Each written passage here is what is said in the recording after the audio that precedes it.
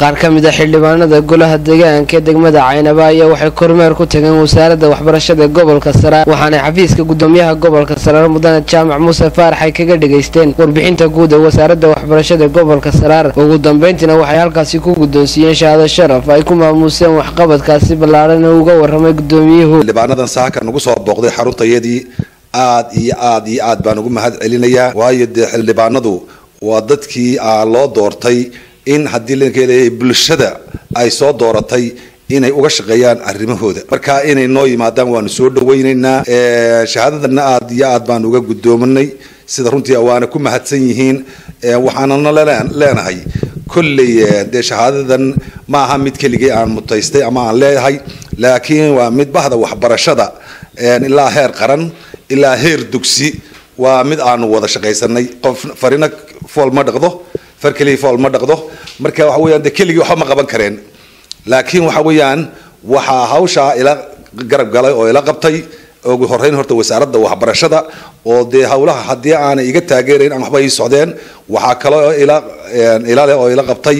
Haddii la kaleeyahay kormeerayaasha. Xildhibaanada golaha deegaanka ka tirsan waxaanu leenahay waa shahaado sharaf.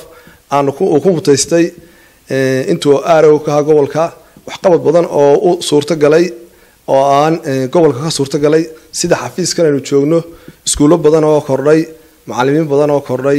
Markaa waxaanu ugu talagalnay haddaanu xildhibaanada golaha deegaanka degmada caynaba inaanu ku maamuusno aarooga shahaado sharaf. Markaa shahaado sharaf la bixinaya waxa weeyaan qofku marka inta uu xilka hayo waa shaqada uu qabtay ee uu ilaahay ku karaameeyey waxaa sharafta la leh iyo sharaftana waxaa la sii leh dhammaanba howlwadeennada dee wasaaradda ee uu gobolka isagu hogaaminayo iyo wasaaradiisa waa la iyo xukuumadda waa la leedahay. Waayo gobolkan waxa wax ka qabtay kala duwan waxbay ka qabteen laakiin waxbarashadu dhidibada waxay isku taagtay. Intii maaragtay ninkan hadda hayay goboladii wax xafiiska gobolka dhismay iskuulla fara badan baa dhistay. Markaanu leenahay ashahadanu bixinayna ama waxbuu qabtay. Golahayaga deegaanku ujeedadeeduna ahayd in cid kasta oo gobolkan ahi waxa ay u qabatay dadka in looga mahad celiyo. Ciddii dhaliilana dhaliisheeda aanu ku muujinno. Marka aarooga waxaanu ku ammaanay intuu joogay waxqabadkii uu ka qabtay gobolka ee dhinaca waxbarashada. Gudoomiyaha waxbarashada ee wasaaradda waxbarashada ee gobolka saraar shaac muuse faarax runtii oo ah shahaado sharaf shahaado sharaf aanu guddoonsiinayno haddaanu xildhibaanada golaha deegaanka.